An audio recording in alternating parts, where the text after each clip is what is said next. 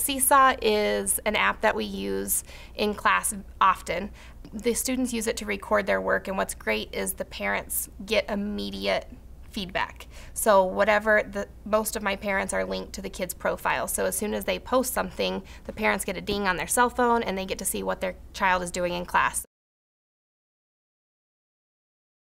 Um, so if you got like, um, for an example, a four out of four, you did like really, really good on your like, um, your question, then the te- your teacher might say that you could put it on Seesaw to show how good you did. You could use the camera and then use the microphone to talk about it. Maybe you would have someone video you um, and show you. And if your teacher asks you like, um, um, like to show how you got the answer, then um, your partner could video you um, writing and making the answer.